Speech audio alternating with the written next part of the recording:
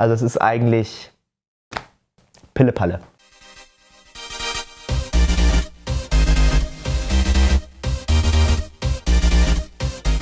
Am Tag der OP wird natürlich vor der OP nochmal alles untersucht. Das heißt, man schaut, ob die Daten gleich geblieben sind, äh, ob sich das Auge nochmal verändert hat. Man möchte natürlich ähm, den richtigen Status quo des Auges haben, bevor, äh, bevor das Auge operiert wird. Bei meinem Arzt gab es dann auch noch eine Menge Süßigkeiten, einerseits für die Nerven und äh, natürlich auch irgendwie ein bisschen für den Kreislauf, weil so eine OP ist immer anstrengend und da kann Zucker schon ganz hilfreich sein. Kennt ihr sicherlich. Außerdem, ähm, da war ich besonders gespannt drauf, äh, gab es eine Beruhigungspille. Ich muss sagen, ich habe noch nie so eine Beruhigungspille bekommen. Äh, gab auch irgendwie keinen Grund zu, weil ich natürlich voll der entspannte Typ normalerweise bin. Nee, Spaß, aber ähm, ich war einfach ich war vorher echt aufgeregt. Also was heißt echt? Es war schon, man, man merkt schon, oh, es ist irgendwie unangenehm. Wie, so ein bisschen wie Lampenfieber. Äh, und ich habe dann irgendwie so eine kleine Pille bekommen, die sollte ich nehmen. War bestimmt auch nur ein Placebo. Nee, keine Ahnung. Und ich merke dann so, ja, man wird irgendwie entspannter. Ich dachte, ich hatte vorher gehört, ja, man kriegt dann so eine Scheißegal-Pille. So dramatisch war es jetzt nicht. Also mir war nicht alles scheißegal, aber ich merkte, dass so mein, mein Puls sich einfach gesenkt hat und ich so ein bisschen entspannter war. Natürlich hat man noch ganz viel im Kopf und so. Aber es war einfach, man ist so ein bisschen entspannter. Ich meine, es ist halt eine Beruhigungspille.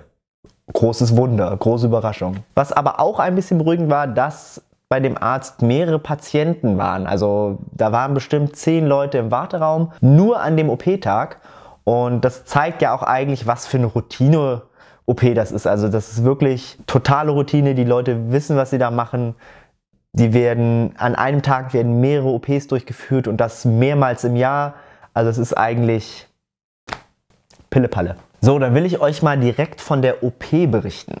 Ich wurde dann also aufgerufen und äh, kam in den OP-Saal. Da war eine OP-Schwester, äh, die das Ganze betreut hat. Ich habe mich auf so eine Liege gelegt unter so ein Apparat. Ähm, wie kann man das beschreiben? Ja, das ist einfach so ein wie so eine, ja, eine Liege, wo man sich drauf liegt. Und dann ist da so ein riesiger Apparillo, der so über einem ist. Ähm, war aber relativ entspannt und natürlich ist man ein bisschen aufgeregt, weil es dann ja gleich losgeht. Und die OP-Schwester bereitet einen vor, man bekommt Augentropfen und alles. Ähm, aber es geht ziemlich schnell alles eigentlich. Man bekommt, bevor es losgeht, auch nochmal Kleinigkeiten erklärt. Man soll zum Beispiel in so ein Licht schauen, was über einem angezeigt wird, äh, eben auf diesem Gerät. Das soll man fixieren und äh, generell wird auch während der OP mit jemandem gesprochen. Da gibt es nämlich ähm, ein relativ großes Missverständnis. Einige Leute denken, das wird bei Vollnarkose gemacht. Da man aber mitarbeiten muss, quasi als Operierter, geht das gar nicht, dass man das in Vollnarkose macht. Und tatsächlich ist es auch absolut nicht notwendig. Ich habe dann also Augentropfen bekommen und so einen Lidspreizer. Das ist so, so ein Gerät, was so die Augenlider aufklappt, damit man eben nicht blinzelt während der OP, was nicht so gut wäre. Und äh, ich muss sagen, das sieht super gemein aus oder die Vorstellung, dass dann so das Lid aufgehalten wird, ist super gemein, aber tatsächlich habe ich das fast gar nicht gespürt. Also ich weiß nicht, ob in den Augentropfen vielleicht auch ein, so ein leichtes Betäubungsmittel war oder so, aber diese Feder, die das Lid aufhält, ist super zart, weil das Lid ist sowieso nicht stark und äh, man merkt es auch überhaupt gar nicht, dass sowas das Lied zurückhält und eigentlich, wenn man mal ehrlich ist, in der Augenhöhle drin ist. Es war wirklich, ich habe das gar nicht gemerkt. Ich habe erst im Nachhinein gecheckt, dass ich ja so ein Ding im Auge hatte.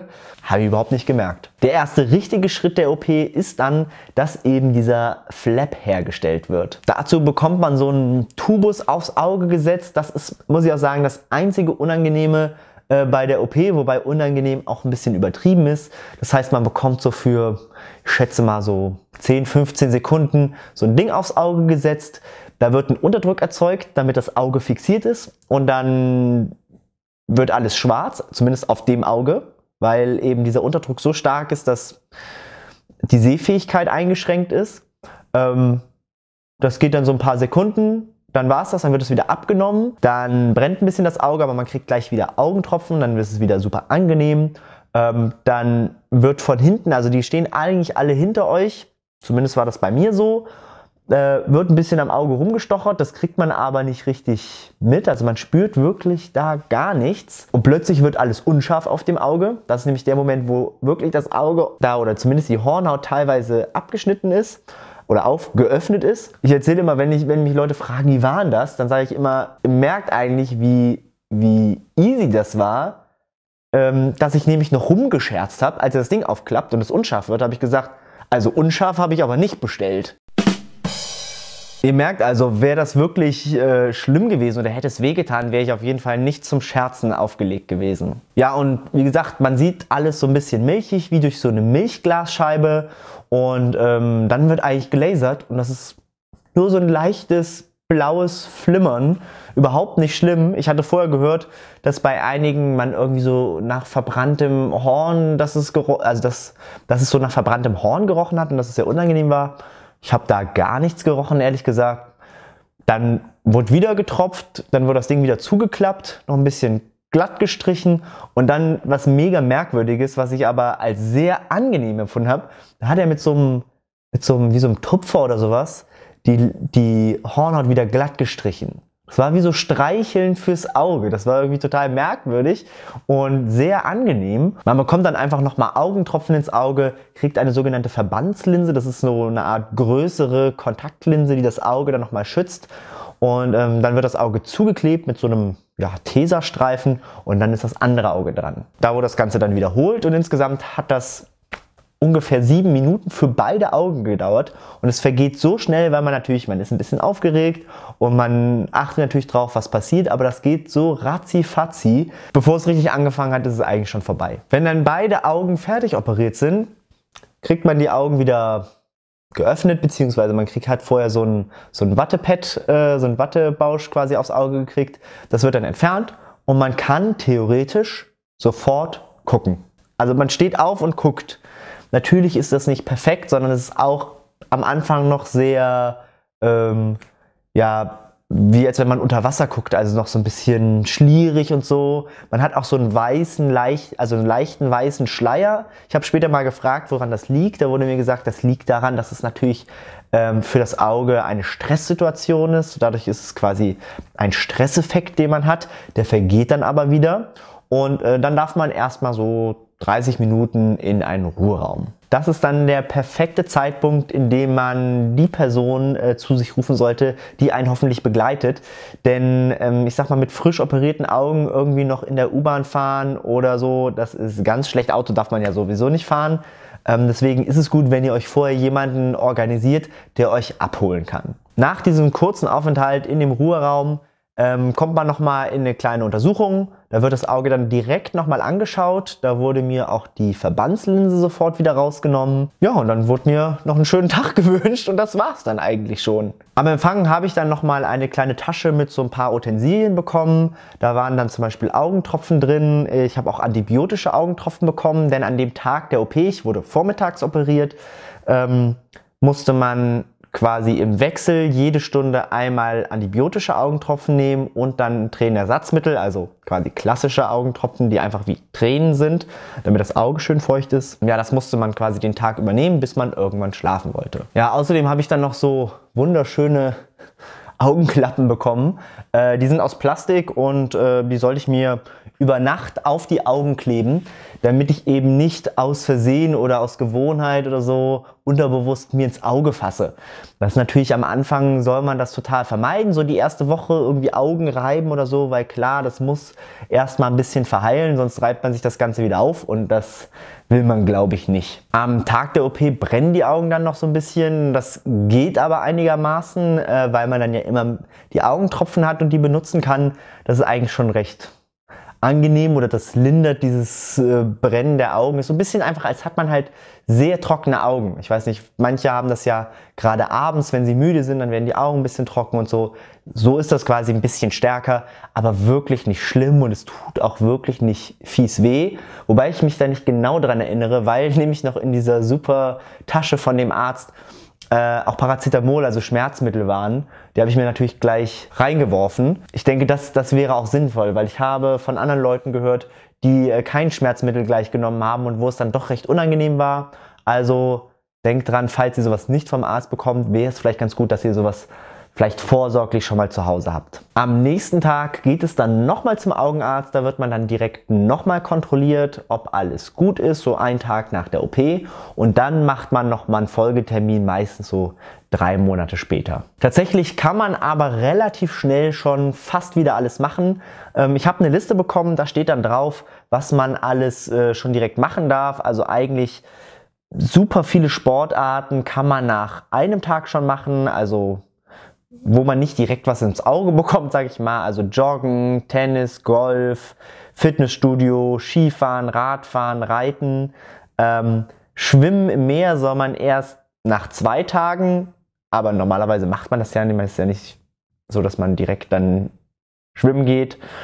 Äh, und ein paar andere Sachen, wie zum Beispiel Ballsportarten wie Fußball und Volleyball äh, oder Surfen oder Reitsport in der Halle ähm, sowie Tennis auf dem Ascheplatz, weil da natürlich immer ein bisschen Staub in der Luft ist, soll man erst nach ungefähr einer Woche beginnen.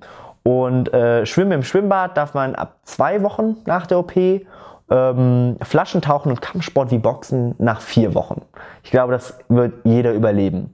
Ähm, generell von alltäglichen Aktivitäten wie Arbeiten, Duschen, Sex, ganz wichtig, äh, Lesen, Bildschirmarbeiten, also alles, was am PC ist quasi, Fliegen als Passagier und Autofahren kann man schon nach einem Tag eigentlich. Tatsächlich ist es auch so, dass am nächsten Tag direkt nach der OP oder ich sag mal abends nach der OP, nach ungefähr so mehr oder weniger 48 Stunden, ähm, ist es schon hat man schon fast ein normales Sehgefühl, muss ich sagen. Augenreiben darf man eigentlich erst so nach einer Woche. Ich habe versucht, auch nach einer Woche das noch ein bisschen zu vermeiden, ähm, weil man muss es ja nicht unbedingt provozieren. Zum Friseur gehen kann man auch schon nach einem Tag. Ähm, in die Sauna nach einer Woche Sonnenbank und Schminken direkt am Auge auch eine Woche. Das ist vielleicht für die Damen da draußen noch ganz wichtig. Man sollte dann erstmal eine Woche auf äh, Make-up verzichten, weil das natürlich auch sehr fein ist, sehr pudrig. Und wenn man das ins Auge bekommt, den feinen Staub, ist nicht so optimal. Wimpern färben darf man erst nach zwei Wochen und Permanent Make-up erst so nach vier Wochen.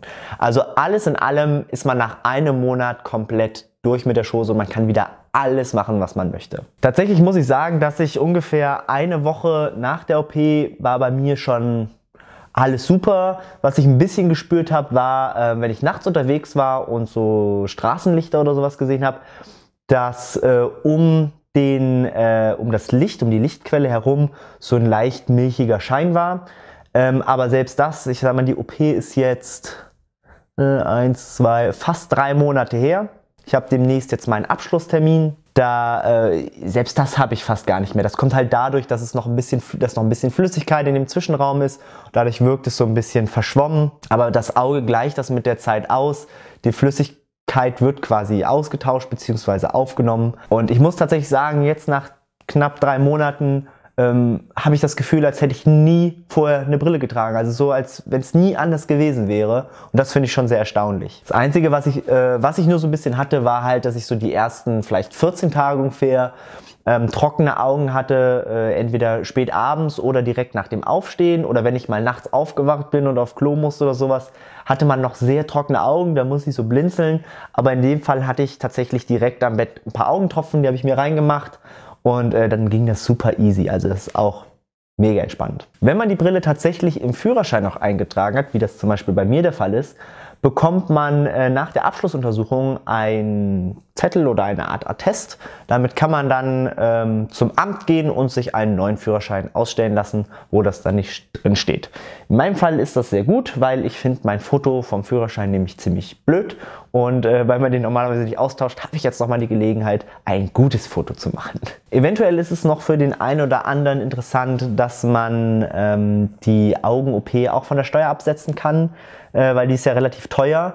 Allerdings nur, wenn der Arzt ein Attest ausstellt, nämlich dass es medizinisch notwendig war. Wenn das der Fall ist, könnt ihr das einreichen mit der Steuer und bekommt einen Teil des Geldes wieder zurück, weil es eine außerordentliche Belastung ist. Jetzt zum Abschluss würde ich euch gerne noch ähm, das tatsächliche Videomaterial von der Augen-OP zeigen, denn mein Arzt, der super viel Geld bekommen hat, hatte auch eine eingebaute Kamera in seinem Laser, was äh, doch irgendwie ganz cool ist. Und ich habe das Videomaterial auf einem USB-Stick mitbekommen. Ähm, das sieht ziemlich fies aus. und damit ich euch nicht verschrecke, habe ich das mal in einem extra Video gezeigt. Ähm, das ist zeitgleich mit diesem Video auch online, das könnt ihr euch anschauen, das äh, verlinke ich am Ende des Videos. Ähm, nicht unbedingt was für schwache Gemüter, weil tatsächlich einfach ins Auge gepiekt wird, um diesen Flap zu öffnen. Es ist aber relativ interessant und ich werde es auch noch ein bisschen kommentieren. Es sieht fieser aus, als es tatsächlich ist. Aber es ist super interessant. Also ich finde es sehr interessant. Deswegen möchte ich euch das natürlich nicht vorenthalten. Ich hoffe, ich konnte euch ein bisschen helfen, euch ein bisschen die Entscheidung erleichtern, ähm, sowohl in die eine als auch vielleicht in die andere Richtung. Ich weiß es nicht. Äh, mein Tipp ist auf jeden Fall, äh, wie gesagt, ich bin kein Arzt. Geht hin, lasst euch beraten, äh, macht das, wo ihr ein gutes Gefühl habt, würde ich tatsächlich eher sagen. Wenn ihr noch Fragen habt oder sowas, schreibt mir die gerne in die Kommentare. Ich versuche alle zu beantworten, so gut ich kann, aufgrund meiner Erfahrung und meine, meiner Erlebnisse, sage ich mal. Und ähm, ja, dann hoffe ich, euch hat das Video gefallen. Vergesst nicht, den Kanal zu abonnieren, damit ihr kein Video mehr verpasst und am besten nämlich auch die Glocke zu aktivieren, weil sonst verpasst ihr womöglich doch das ein oder andere Video. Und äh, über ein Like würde ich mich natürlich freuen. Ansonsten bleibt mir noch zu sagen, tschüss, bis zum nächsten Mal, euer Schlaumacher.